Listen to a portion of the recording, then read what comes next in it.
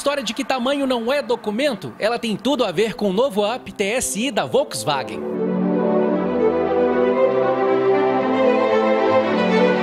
A sigla, já vista em outros modelos mais parrudos da marca, vem de turbo com direção direta de combustível. Para completar, o motor com 3 cilindros e 105 cavalos de potência, disponível em seis versões do carrinho, ainda vem com a tecnologia Flex.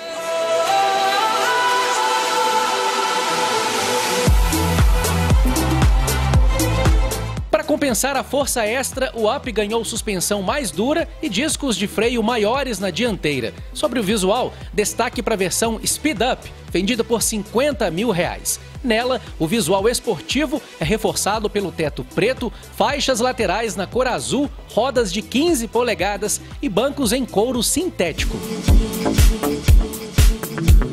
carrinho faz de 0 a 100 em apenas 9,1 segundos e chega aos 184 km por hora. Mas como não adianta só ser ligeiro, o AP TSI, segundo a Volks, roda quase 14 km por litro na cidade com gasolina e 16 na estrada.